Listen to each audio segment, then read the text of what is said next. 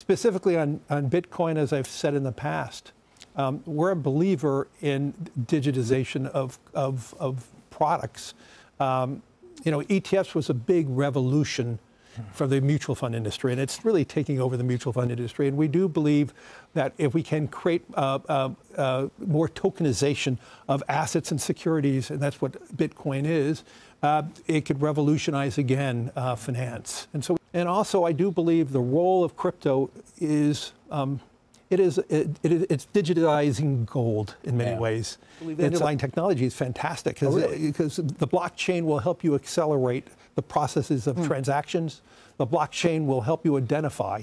I mean, l- let's be clear. If you have a pure blockchain and you have every you have knowledge of who the buyers and sellers are, we could then, you know, we don't need custodians anymore.